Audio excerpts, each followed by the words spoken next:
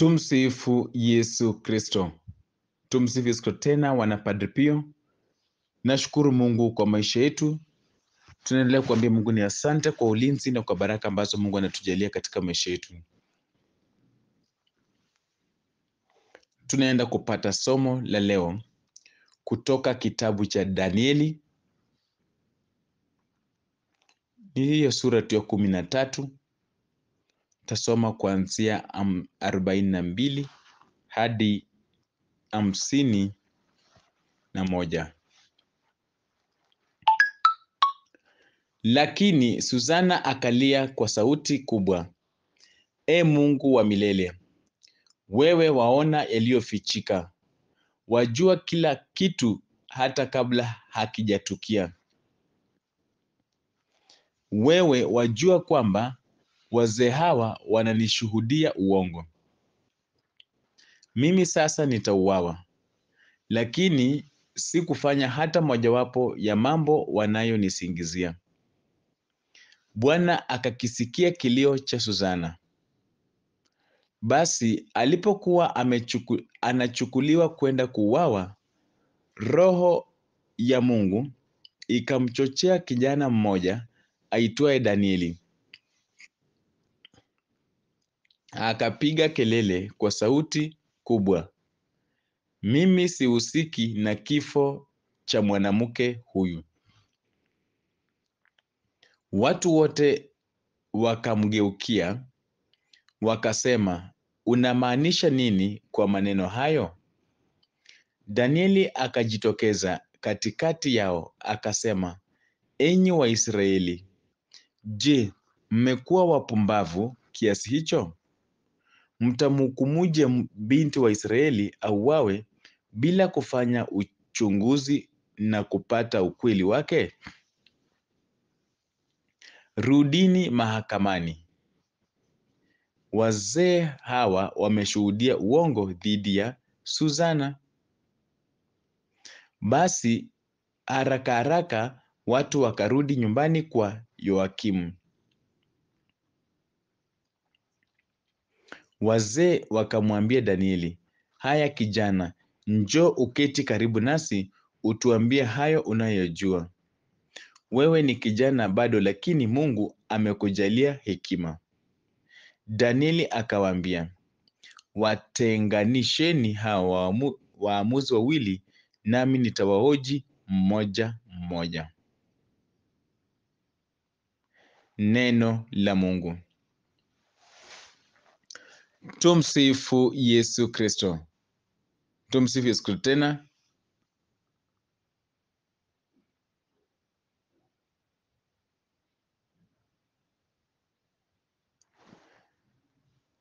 mwanadamu ametoa hukumu, ila mimi nangojea hukumu ya Mungu.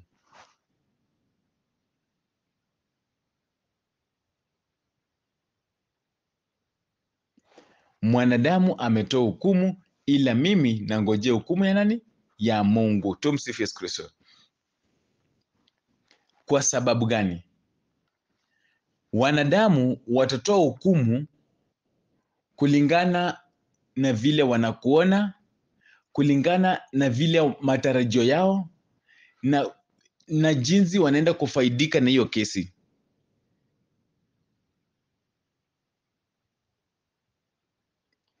Lakini Mungu aonaye kwa siri, hukumu yake ni ya haki, hukumu yake ni ya ukweli,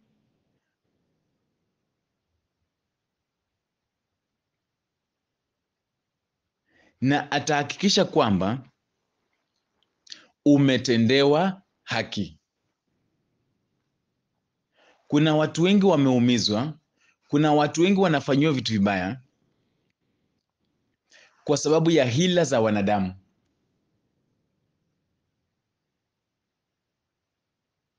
Siku ya leo tunaomba kweli Mungu mwenyewe akajitokeze tuweze kupata haki zetu. Mungu mwenyewe akajidhihirishe tuweze kupata haki zetu.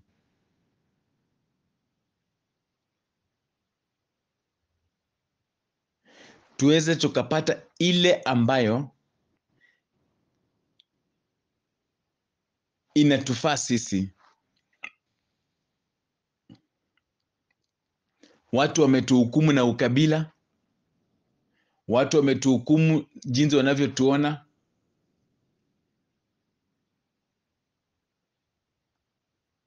Watu wametuhukumu vibaya hivyo kwa sababu tuliwaambia ukweli au hatuwaungi mkono.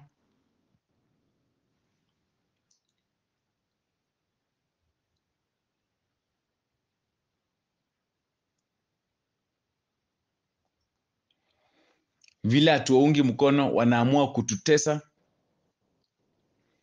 wanaamua kufanya maisha yetu yawe magu magumu. Tumsifu Yesu Kristo. Kwenye somo letu la leo ni kuhusu kisa cha Suzana. Suzana alikuwa mwanamke mzuri, anapendeza kwa sura na pia mwenye maadili mema na mwenye kumcha Mwenyezi Mungu.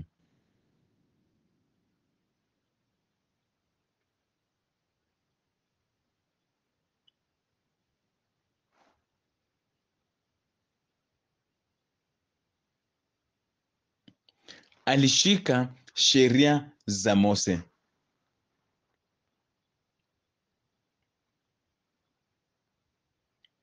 Na mume wake Yoakimu alikuwa mtu tajiri sana.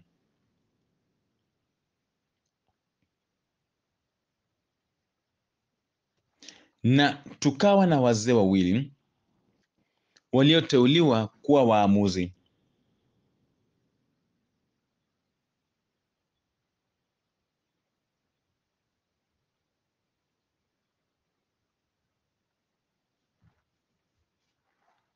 Na hawa wazee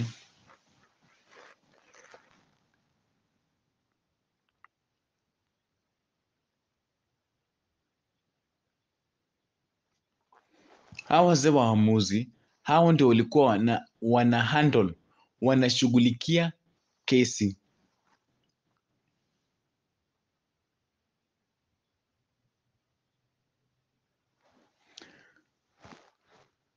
Tumsifu Yesu Kristo. Suzana alikuwa na desturi na tabia ya kwenda kutembea bustanini wakati kila mtu amefanya nini?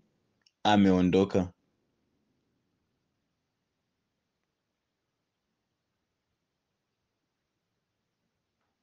Na neno la Mungu linasema wao wazee walikuwa wanamwona akitembea bustani kila mara na wakaanza kumtamani. Walivutiwa na uzuri wake hata wakapoteza hamu ya kuomba wala kufikiria wajibu wao wa kutoa hukumu za haki. Tamaa za mwili zilifanya wasiwe watu wa nini? Wa haki na wasiwe watu wa nini? Wa sala.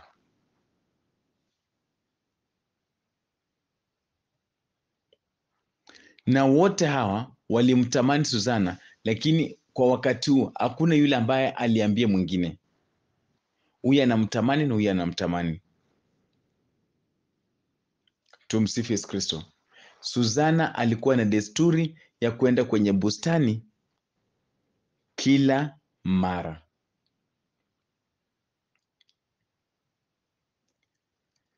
Wana Pio, adui akitaka kukushambulia, mtu ambaye anakutafuta kwa maneno kwa njia moja nyingine, anapokuja kukushambulia, anaangalia desturi yako ya maisha, anaangalia rutini yako una, anajua kila siku unaenda hapa.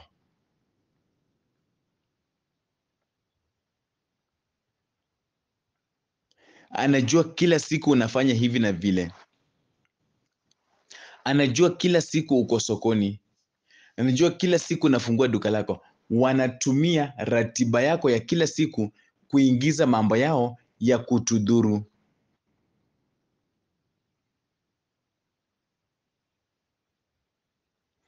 Ratiba ni yako, lakini wanajiingiza ndani ili wafanye nini?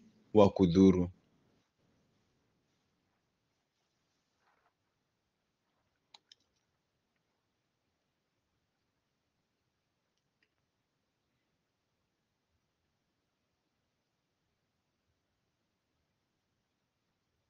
Mm. Sasa hawa wazee kila mmoja ajui kwamba mwenzake anamtamani nani? Suzana. Lakini siku moja waliambiana tuende lunch, tuende nyumbani zetu lunch. Huyu ameenda kwake, huyu kwake, lakini kwa sababu walikuwa wanajua desturi ya Suzana ya kuja kurudi bustanini, wote walirudi wakakutana, mara wakakutana ana kwa ana. Walipoulizana kisa, kila mmoja akakiri kuwa anamtamani Suzana. Basi wakaamua kwa pamoja kungojea wakati mzuri wa kumpata Suzana akiwa peke yake. tumsifie Yesu Kristo, wana Padre Pio. Maadui husema kwamba tutangojea nafasi, wana, ni kutegea.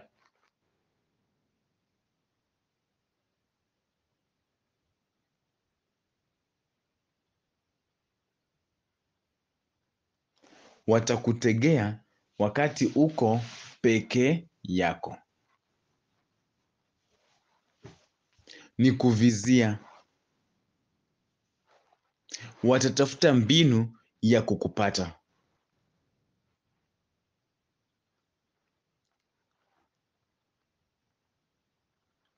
Watatafuta mbinu ya kukushika. Watatafuta mbinu ya kukufanyia vitu vibaya. Adui zetu huwa wanatafuta muda au wakati mwafaka wa kukushika au wa kukupata wewe. Tumsifu Yesu Kristo.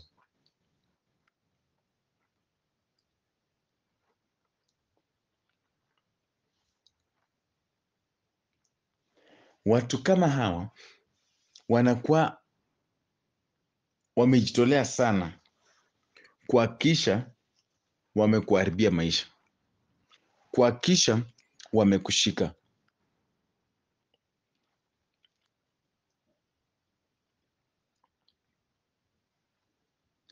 Sasa unakaa na watu ambao wewe unafikiria unakaa na, kumbe wao wanakuvizia wakupata kwa makosa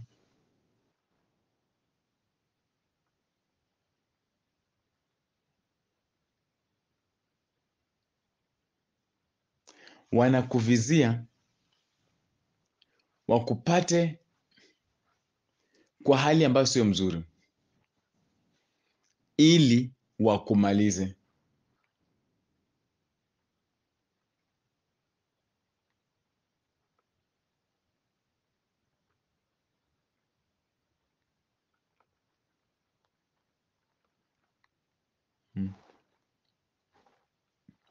Sasa kwa sababu wao walikuwa na mtafuta sana, walimfuatilia sana, na siku moja hiyo nafasi ikafanya? Ikapatikana. Wakati Suzana alibaki kwenye bustani peke yake, akiwa ametuma watumishi wake wapi? Nyumbani. Hmm.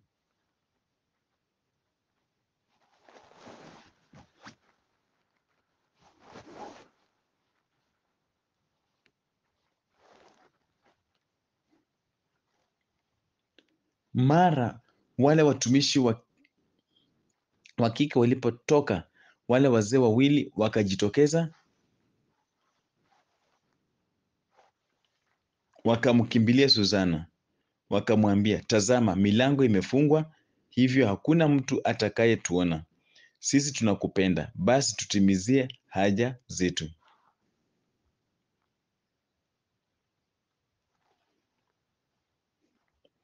Ukikataa,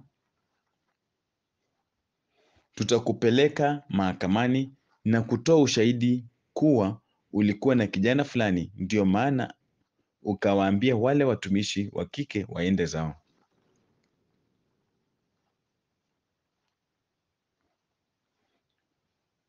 Wanataka watimiziwe haja zao.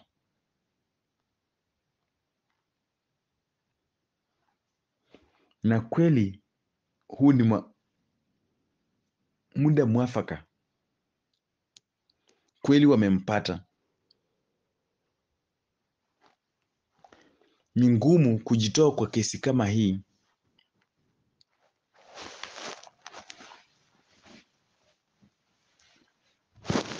ni ngumu kujitoa kwa kesi kama hii.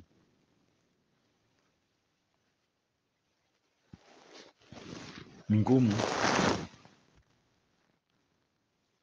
Mara nyingi watu wanaotutafuta hata wanakuundia kesi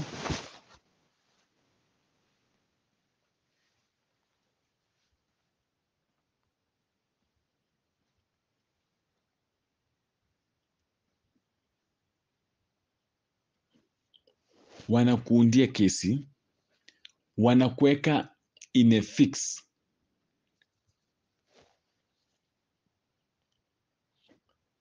Ni Mungu tu anajua ukweli, lakini mwanadamu wa kawaida akiisikiliza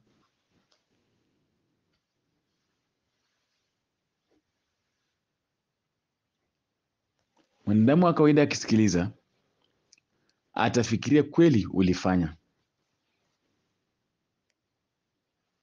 kweli uko kwenye makosa.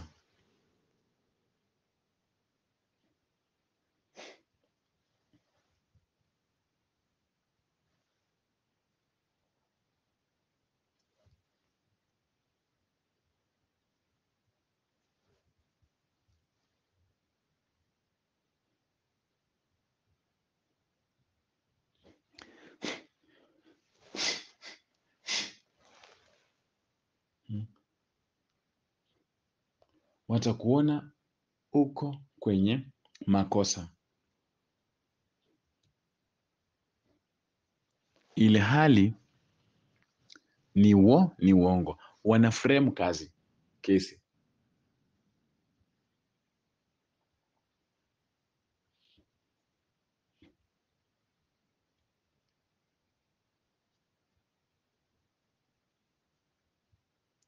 Wana frame kazi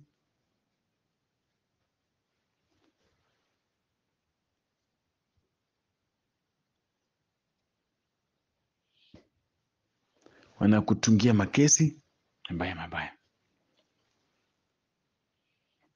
Suzana alisema hivi, alipiga kite akasema, nimebanwa kila upande,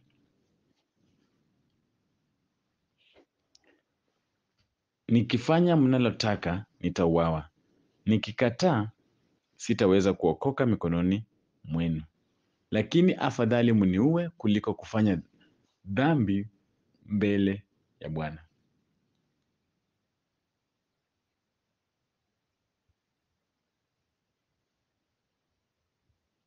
Hmm.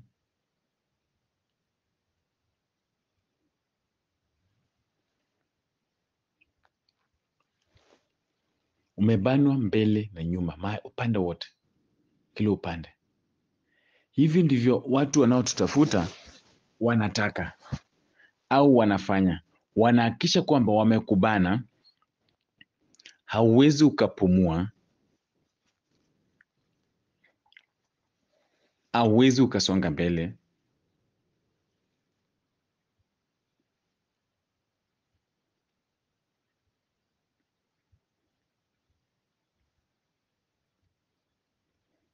Hauwezi ukafanya chochote. Ni Mungu tu atakuokoa. Lakini pia hata watu wakikubana na kudanganyia mambo, uhakisha kwamba unachagua msimamo wa kutoingia katika dhambi. Suzana alisema ni heri nife, lakini nisitende nini? Dhambi.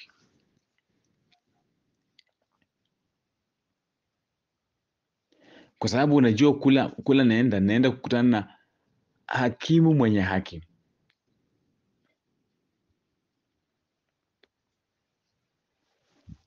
Hmm, hakimu mwenye haki.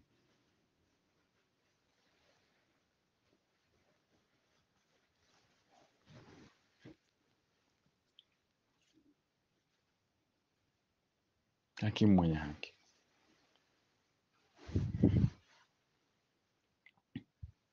Sasa Suzana amewekewa kesi.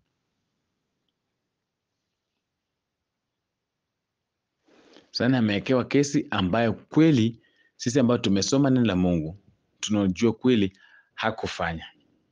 Ni mara ngapi watu wametusingizia mambo? Ni mara nyingi watu wametusingizia, tumefanya, tumeongea, tumefanya nini, na ukweli ni kwamba hatujahusika hata kidogo. Kwa hivyo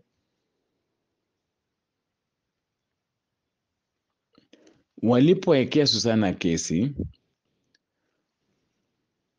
kikao kikapangwa na kikarudishwa katika mikono ya wale ambao walikuwa wanamtamani, kwa sababu hao ndio waamuzi. Tumsifu Yesu Kristo. Kuna watu ambao wanaamua kuhusu maisha yetu, ila hali wako na interest na kitu fulani, yaani hawafai hata kuamua kesi zetu, watakuwa biased. Sawa wa jamaa ambao walikuwa namtamani Susana na Susana amekataa mambo yao, ndio hao hao wana wanaendesha kesi. Je, mahali kama hapo utatarajia kupata ukweli? Ngumu. Je, mahali kama hapo utatarajia suzana apokee haki? Ni ngumu, ngumu. Hapo hivyo Suzana haezi, hatuwezi kusema Suzana hapa anaenda kupokea haki. Ngumu. Tumsifu. Ni ngumu kabisa. Sasa walipokuwa kwenye kikao, Susana walikuwa wamejizatidi kikamilifu kutekeleza njama zao ili Susana ahukumiwe adhabu ya kifo.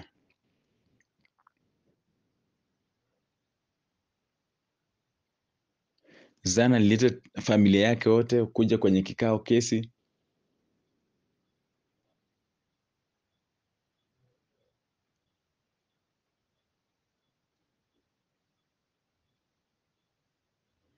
Kusoma kuanzia mstari wa thelathini inasema hapo wale wazee wawili waamuzi wakasimama mbele ya watu wote, wakaiweka mikono yao juu ya, ya kichwa cha Susana. Lakini yeye huku machozi yakimchuruzika, akatazama juu mbinguni, maana kwa moyo wake alimtumainia Bwana. Tumsifu Yesu Kristo. Nataka tuwe watu wa kufanya kile ambacho Susana amefanya sahizi. Alitazama juu mbinguni. Watu wanapokusingizia mambo, watu wanapokudanganyia vitu, umefanya hivi sijui nini na nini, tazama juu mbinguni, kwa sababu kwenye moyo wako unamtumainia Bwana. Tazama juu mbinguni.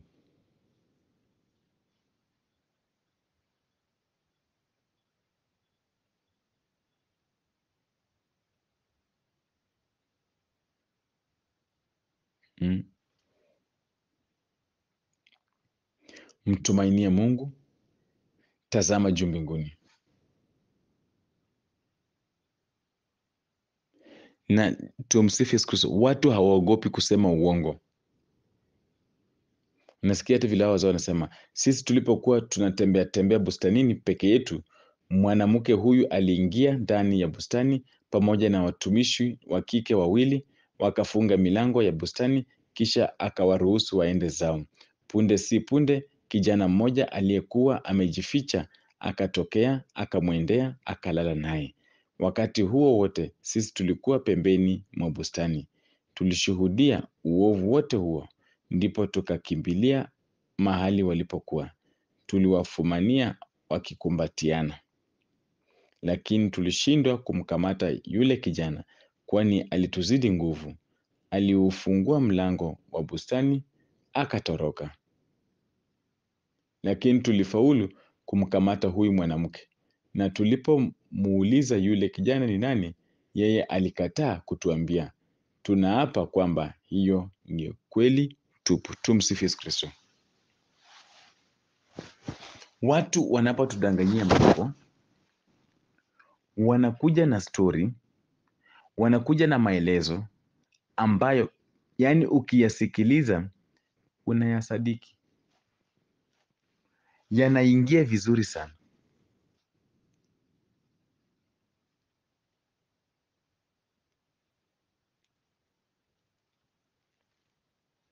Hmm. Wanapokutungia kesi, yani wanatunga, wanatunga kabisa.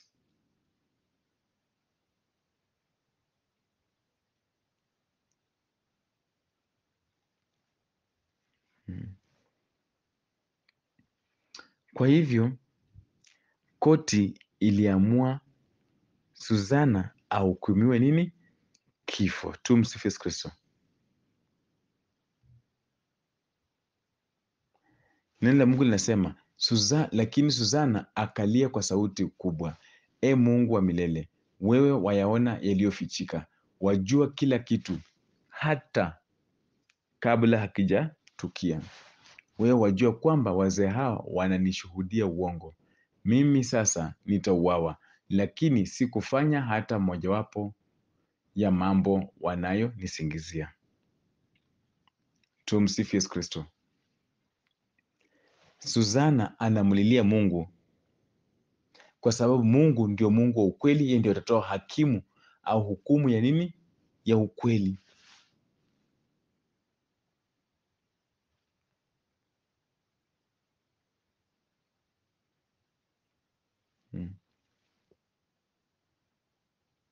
Suzana alimulilia nani? Mungu,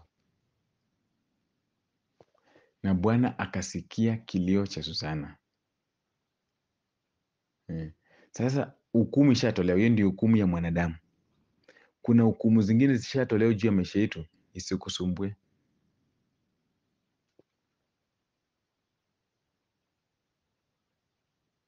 Mungu mwenyewe atabadilisha mambo. Mungu mwenyewe atabadilisha, hata kama ni kesi itabadilika. Mwanadamu ametoa maamuzi yake, hiyo ni yake.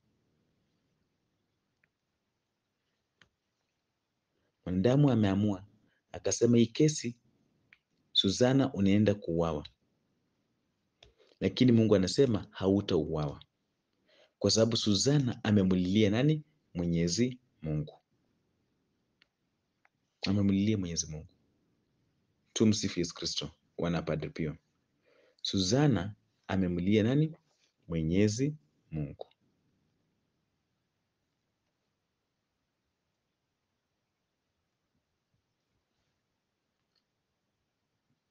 Hmm. Suzana amemulilia mm, Mwenyezi Mungu. Kumbuka hukumu ishatolewa kwamba Suzana akauawe.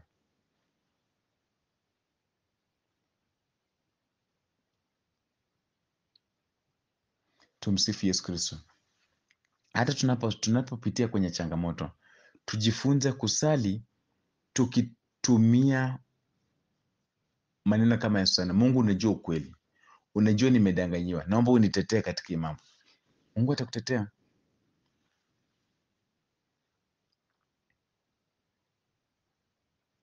Ndio maana alipomlilia Mwenyezi Mungu, ndio maana nini ilifanyika? Basi alipokuwa anachukuliwa kwenda kuwawa roho ya Mungu ikamchochea kijana mmoja aitwaye Danieli, akapiga kelele kwa sauti kubwa, mimi sihusiki na kifo cha mwanamke huyu. Tumsifu Yesu Kristo. Naomba watu waanze kujitoa, mimi sihusiki kwa haya mambo ambayo inatesa huyu mtu wa Mungu, sihusiki. Tuwe na mkawanyigo mkubwa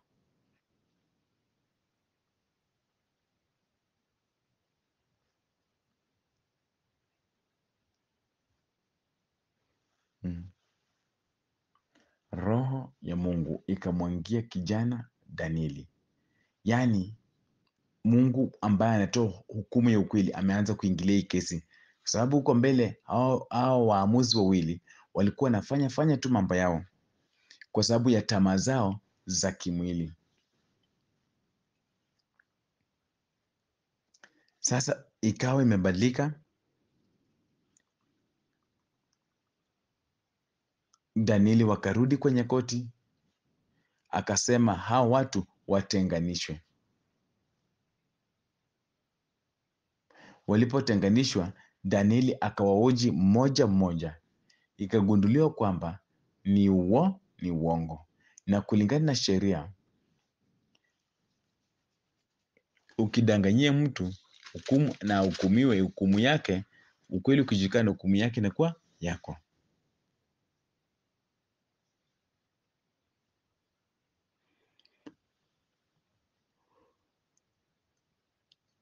Mhm. Ndio maana ukisoma mstari wa sitini na moja unasema basi wakawavamia wale wazee wawili ambao Danieli alithibitisha uongo wa shtaka lao kwa maneno yao wenyewe.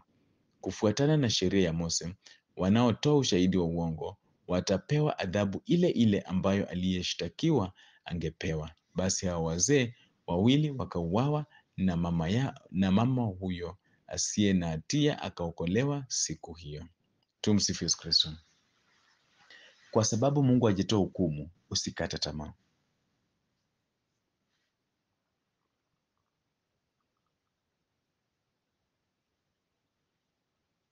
Hmm.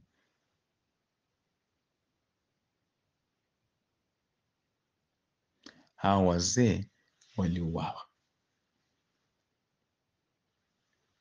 Kwa hivyo tumsifu Yesu Kristo. Kuna hukumu zingine zimetolewa juu ya maisha yetu, zisikubabaishe. Ambia mtu nangoja hukumu ya Mungu, na kwa sababu unaomba, kwa sababu unamlilia Mungu, kwa sababu Mungu ni Mungu mwenye haki, atahakisha kwamba umepata. Kwa hivyo, wana Padre Pio, hukumu ambazo watu wametoa juu ya maisha yetu isikusumbue.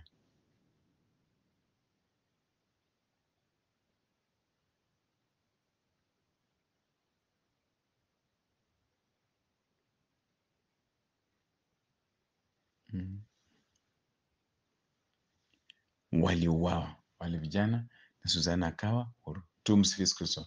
Suzana hata angekuwa amekata tamaa, aseme Mungu ameniacha, ona vile nahukumiwa kufa na mimi sijafanya chochote, lakini dakika ya mwisho Mungu anakuja kufanya nini? Kumwokoa. Tumsifu Yesu Kristo. Hata mimi na wewe tunapofikiria tumefika mwisho,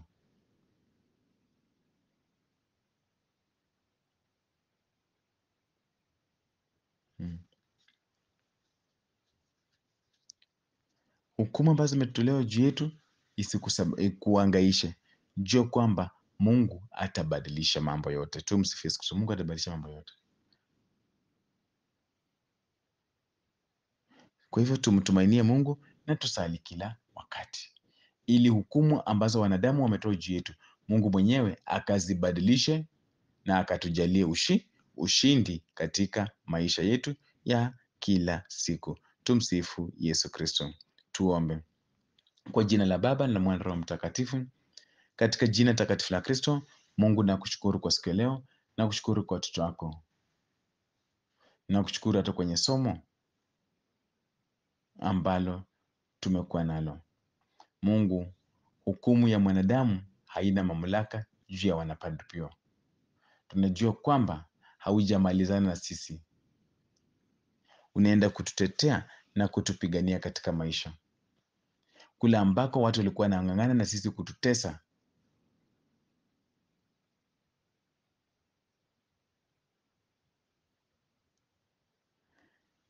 Tunakataa mateso, mateso yote, hukumu zote za kututesa ambazo watu wanatumia juu yetu, tunazikansel zote katika jina takatifu la Kristo. Mungu, tunakulilia wewe. Mungu, sisi watoto wako tunakulilia, tunaomba ukatutetee na ukatuondoe katika mikono za mikosi.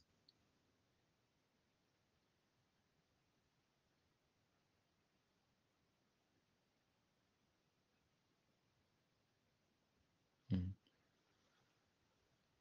Mungu asimame na kila mmoja wetu. Mungu akatutetee. Mungu usituache ili hawa watu waanze kutunyanyasa na makesi zao, kutunyanyasa na vitu vibaya.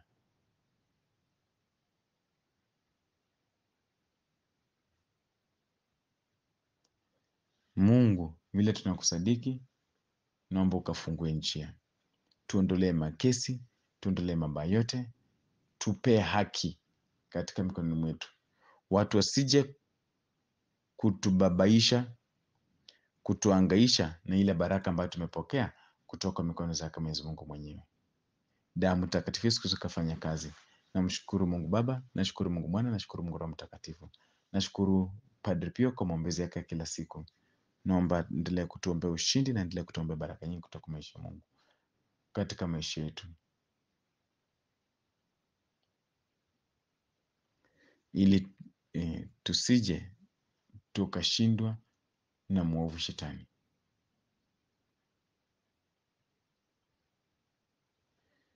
Damu takatifu Yesu Kristo iendelee tu kuenea katika maisha yetu.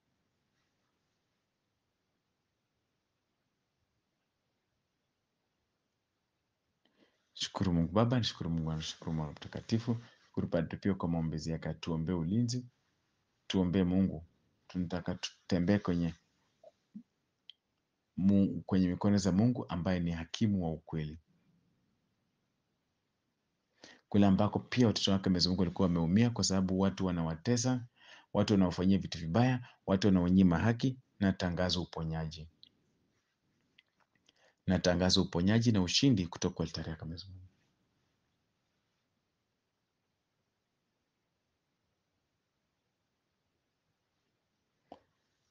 Tunasema ni asante pia kwa Mama Bikira Maria kwa maombezi yake ya kila siku.